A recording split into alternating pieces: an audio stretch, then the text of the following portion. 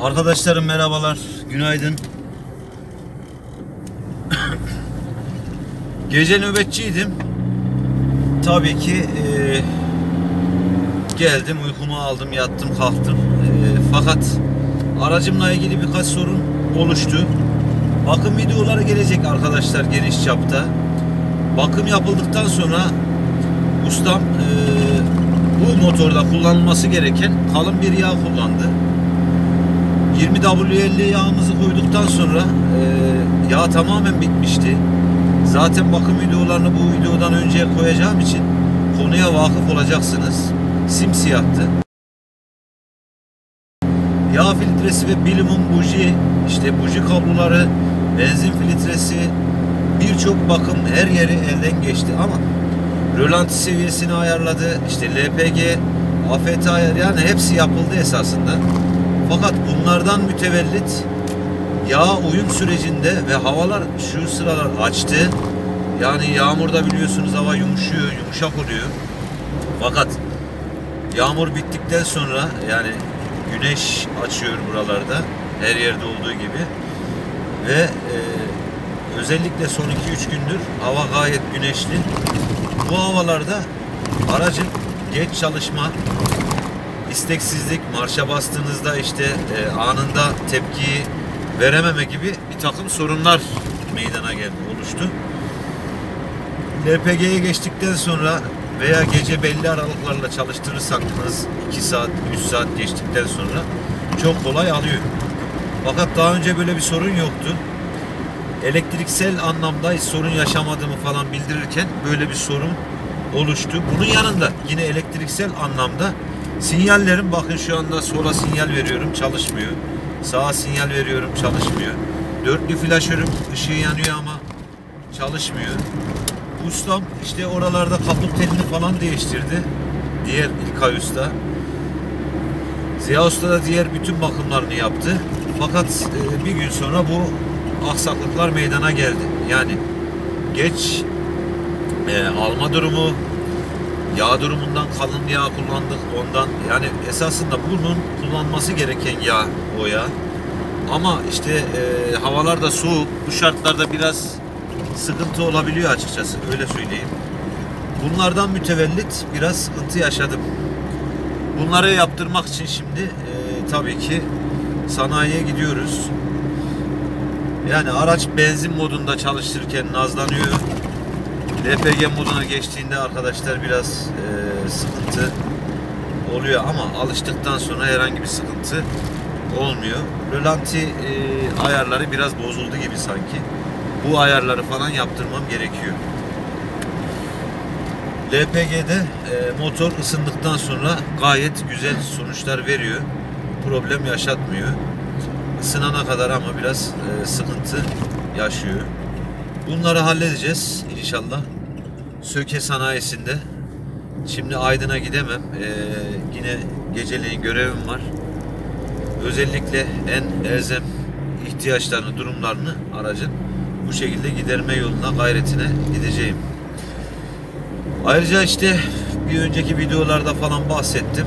Hani olumlu tarafları, olumsuz tarafları Ford Taunus'un diye bu fiyata göre alınabilecek gerçek manada en güzel arabalardan biri. Fiyatına göre. Fakat bana fiyat falan sormayın arkadaşlar söyleyemem. Bakımları devam ediyor. Yani e, bu derece işte yine iyi durumdaydı araba. En azından motor, şanzıman, diferansiyel yönünden bir sıkıntı yaşatmadı. Diğer bütün bakımlarını yaptırdım ama tabii ki bakımları devam edecek ve ediyor. Bu yüzden şu anda kaça aldın abi ne kadar masraf ettiğin gibi falan şeyler yani e, etik olmaz, yersiz olur. Olmaz yani. Çünkü aracı aldıktan sonra da bir takım aşamalardan araç geçiyor ve bakımları devam ediyor. Bunun yanında aracımızın devir saati de yok. Bunu da bildireyim. Bu araçta devir saati yok. İşte anlık gösterge işte falan filan dedim ben ama devir saatimiz de yok bunu bu şekilde belirtmekte fayda görüyorum. Lastik basınçlarını da ben e, arkadaşlar 32'ye falan ayarlamıştım ama 32 biraz fazla geldi. Araç zıplama yapıyor böyle. E, 30'a düşürmeyi düşünüyorum dördünü de. Lastik basınçlarını 30'a düşürürseniz 30 PC'ye rahat ederseniz sıkıntı yaşamazsınız. Bunu da sizlere e, yaklaşık 300'de işte 400 kilometreye yakın aracı kullandım. Bildirmek istedim. Yan camları açma işte e, kollarında biraz ses gelebiliyor mesela. Şimdi bunda bakın yukarı kaldırırken cırt cırt sesini duydunuz. Yine bu dört kolun bir açılıp yağlanması falan gerekiyor. Onun dışında arkadaşlar e, debriyaja basınca bakın şu anda ses çıkartmıyor Allah Allah. Ama bir gacır gucur bir ses olayı var. Onu halletmemiz gerekiyor. Yani böyle eksiklikleri var. E, bunları halledeceğim işte. Bugün ustanın yanına gidiyorum. İşte birkaç ustanın yanına uğrayacağım. Artık e, hangi malzemeler alınacak, neler, hangi işlemler yapılacaksa bunların hepsi hallolacak ve bu videonun arkasına bunlar e, eklenecektir. Resim veya küçük videolar şeklinde.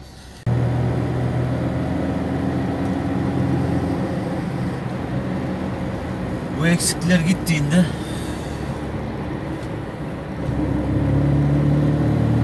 aracımız biraz daha iyi po- pozisyona, kondisyona gelecektir. Ama işte öncelikle bunların bir tamamlanması gerekiyor. Bunları yaptırmak için ben de şu anda sanayi yolunu tuttum ve aracımla eee, oraya doğru gidiyorum. İnşallah iyi bir ustayla tanımıyoruz ustaları. Burada Söke'de bir Fordcu varmış esasında. Onunla da bir tanışabilirsek iyi olur esasında. İyi elektrikçilere, iyi ustalara düşürür, eee, düşeriz. Tanışırız tek derdi gayesi para olmayan, insanların ihtiyaçlarına cevap verebilecek iyi nitelikli ustalarla mülaki olursak sorunlarımızı kısa sürede çözer. Biz de işimize gücümüze bakarız. Araçta şöyle bir rahat nefes alır. İşte eksikleri yapılması için gayret gösteriyoruz ve devam ediyoruz şu anda. Sanayi yolundayız arkadaşlar. Görüşmek üzere diyorum.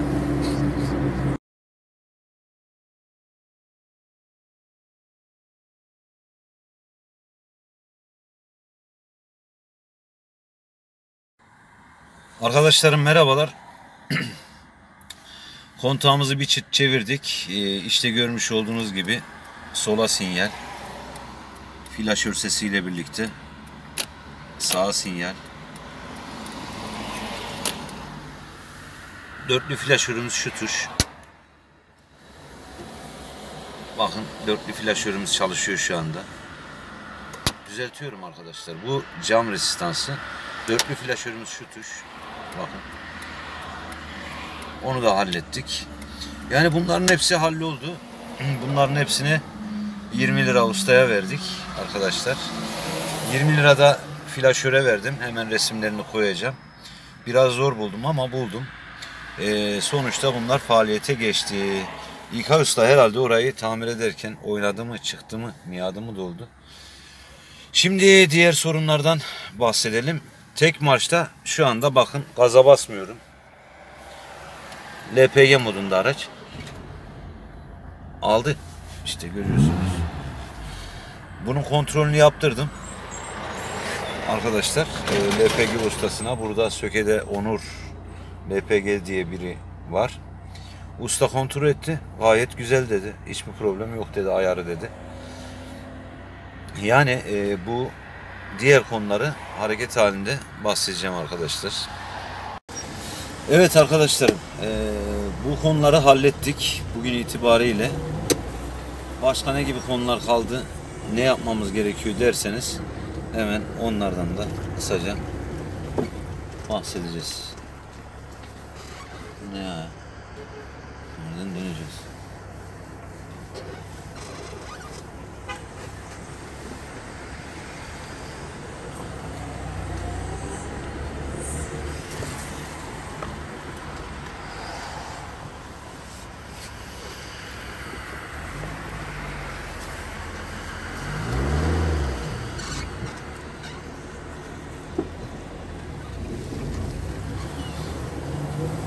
Yani büyük bir terbiyesizlik ya.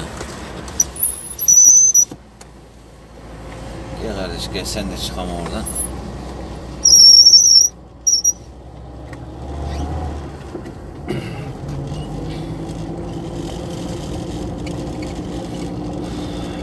Evet arkadaşlarım.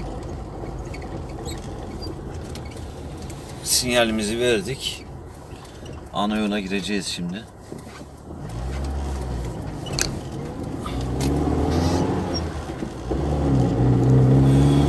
Sanayiye geldim sabah saatlerinde ve sanayide size bahsetmiş olduğum sorunları giderme yoluna gittim. En büyük sorunum tabii ki dörtlü flaşörümün yanmaması. Sola ve sağa sinyalleri verdiğimde bunların yanmamasıydı. Bunları hallettik. Bunların maliyeti bize 40 liraya patladı. Zaten görüntüleri de var gördünüz. Arkadaşlar son birkaç gündür sıcaklık burada 3 derece falan civarında ve araçlar gerçekten zor çalışıyor. Bunu özellikle belirtmek istiyorum. E, bir başka arkadaştan da teyit ettim biraz önce. Onun aracı da zor çalışmaya başlamış. Ama benim işte e, bir V124'ümü evvelsi gün denedik işte görüyorsunuz 10 gün çalışmıyor falan. Birilerine çok normal geldi. Halbuki ben bunları yaşadığım için bu videoları çektim. Bazı araçların burada bu mevsimde bu mevsimsel şartlarda çalışmadığını teyit ettik. Çalışmadığını gördüğümüz için zaten bu videoları çektik. Bilmiyorum bazı insanlar biraz farklı yaklaşabiliyor konuya. Bakış açısıyla ilgili bir şey. Biz daha geniş bakıyoruz. Anlayamadım yani. Ee, böyle bir durum var. Şuradan hemen ben bir LPG ikmali yapayım arkadaşlar.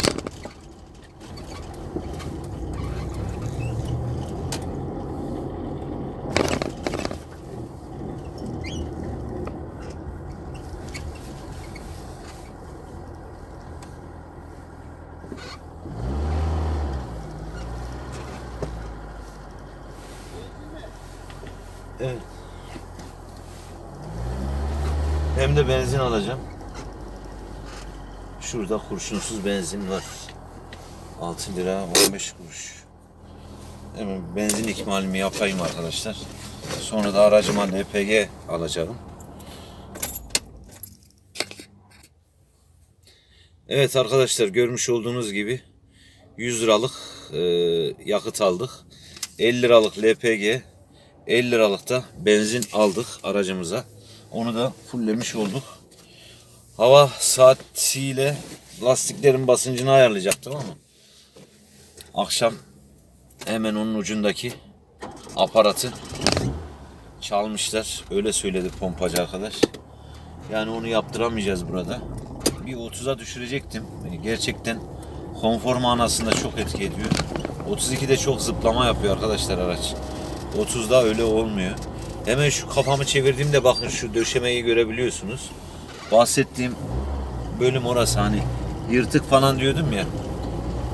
Onu işte düzelttireceğiz bir ara. Komple bunu e, alacağım. Ya böyle böyle aşama aşama hiçbir şey kolay olmuyor arkadaşlar. Yani bu safhalardan geçecek bu araç. Yani sıfır araç da alsanız bir kalemde bir dünya belki bu aracın yarı parası kadar parayı sizden bir bakımda alıyorlar. Yani e, uğraşmak gerekiyor. Uğraşmadan yemek bile yiyemezsiniz. Çiğnemeden lokmaları yutamazsınız. Gırtlağınızda takılır, boğulursunuz. Abi sanatçı boğulmuştu işte patates yerken. Allah rahmet eylesin. Oya Aydoğan'dı galiba. Onun gibi şeyleri sık sık duyuyoruz. Yani e, bakımla uğraştık sayılır bugün. Diğer aküyü kontrol ettirdim. Akünün değerleri gayet güzel çıktı. Son birkaç gündür işte dediğim gibi şeye bağlıyorum arkadaşlar ya. E, havaların soğumasına bağlıyorum. Yani havaların soğuması şöyle oluyor esasında. Burada tabii çok çok eksi derecelere düşmüyor ama sıfırın altına düşüyor. Bazen. Bazen de e, 3 derece, 4 derece oluyor. Artı 2, 3, 4 derece buralar için büyük bir rakam. Atmosfer tabi basıncıyla veya işte doğa olaylarıyla ilgili buralarda o rakamlara gelmesi sizin e, Güneydoğu'da, Doğu Anadolu'da kış mevsimini yaşamanız anlamına geliyor. Buralarda e, büyük değerler değerler. Birkaç arkadaştan da teyit ettim. Onların aracında da aynı böyle geç çalışma veya işte nazlanma sorunları olmuş. Bunu belirteyim özellikle. Ben sadece işte bir lastik havalarımı şey yapacağım. Ee, diğer nominal bütün e, size bahsettiğim şeylerin hepsini yaptırmış oldum. İlgili fotoğraflar zaten e, konu arasında ilgili yerlere yerleşecektir. Ve e, böyle bir video oluşturduk. Aracımızdan şu an itibariyle yakıtı falan çok fazla değil işte şu son 2-3 günlük e, şeyler de olmasaydı daha iyi olacaktı arkadaşlar. Frenleri de gördüğünüz gibi kırmızı ışık yandı. Bastım. Gayet güzel bir şekilde aracımız durdu. Yani hiç riske atmaya gerek yok. Yani kırmızı, yeşil yanıp sönüp sönmeye başladığında hemen geçeyim falan filan. Yok basın frene durun arkadaşlar. Tekrar yeşilin yanmasını bekleyin. Maceraya atmaya gerek yok. Sadece işte dediğim gibi e, lastik havalarını ayarlayacağım ve aracımla ilgili faaliyetler o şekilde bitmiş olacak. Lastik havalarının ayarlama için hemen ileride bir yer var. Oraya gideceğim Aygaz şimdi. Döndükten sonra da kısa bir vlog yapıp bugünkü vlogumuzu bitireceğiz arkadaşlar. Evet hemen şu görmüş olduğunuz hava saatiyle aracımın lastiklerini ayarlayacağım arkadaşlar. Onlarla ilgili faaliyetlerim olacak. Şu an e, 32 gösteriyor ama ben 30'da sabitleyeceğim arkadaşlar. Ve lastik basınçlarımı o şekilde ayarlayacağım. Arkadaşlar görmüş olduğunuz gibi hemen e, şöyle hava saatinde 30'a sabitledik bunları. Ve şimdi tekrar yola çıkacağız arkadaşlar.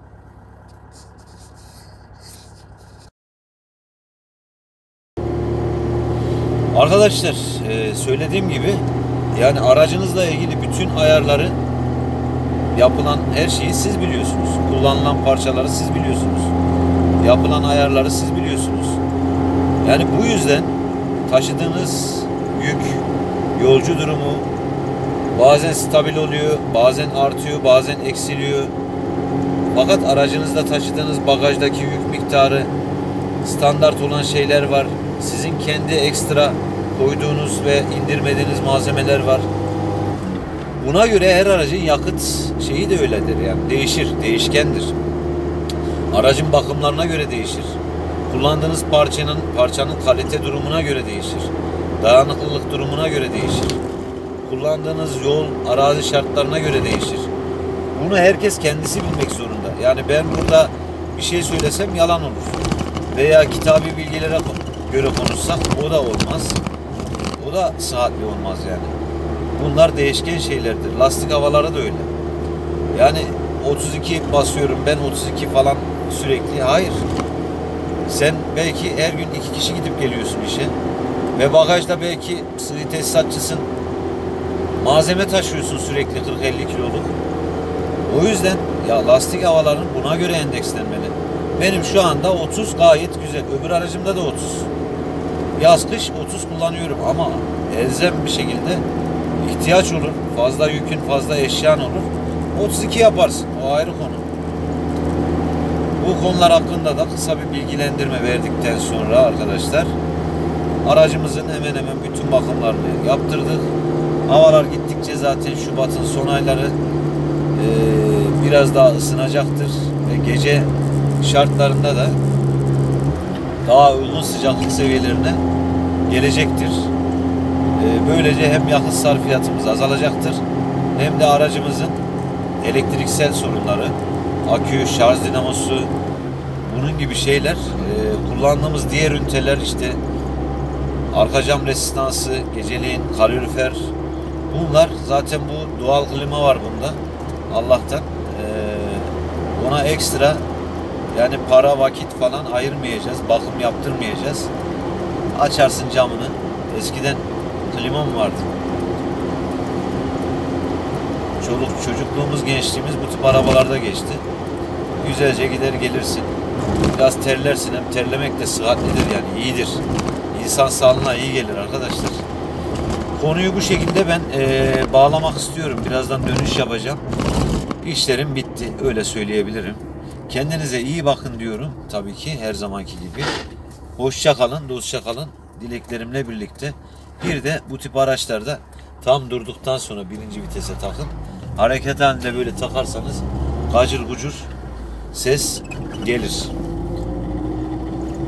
Bunları tabii ki e, biz bile hatırlıyoruz. Bir yandan da yani